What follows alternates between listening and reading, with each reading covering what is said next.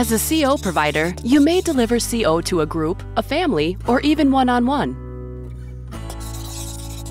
Group sessions tend to be the preferable setting for CO.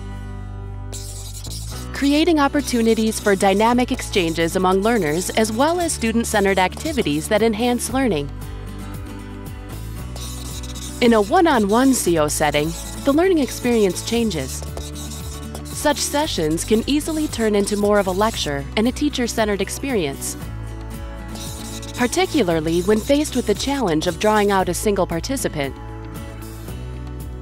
As a CO provider, you will need to be creative. In fact, you should consider how one on one CO can have its own benefits and opportunities. You can provide customized information and get to know the learner better. And even in sessions with just one participant, you can deliver content in interactive ways.